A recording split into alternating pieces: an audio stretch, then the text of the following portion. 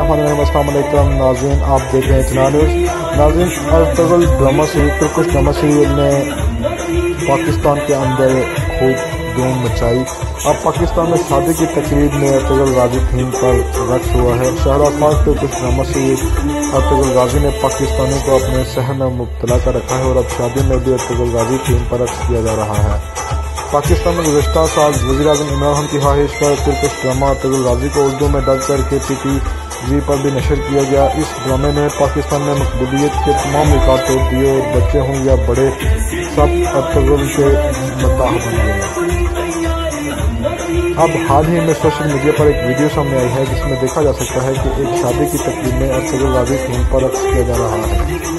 Video میں دیکھا جا سکتا ہے کہ نوجوانوں کے گروپ نے افضل غازی ڈرامے کے کرداروں کی طرح قبائلی لباس پہنا ہوا ہے اور ان کے ہاتھوں میں تلواریں بھی ہیں۔ سوشل میڈیا پر اس ویڈیو کے حوالے سے صارفین کی جانب سے میرے ویڈیو رد عمل بھی سامنے آ رہے ہیں۔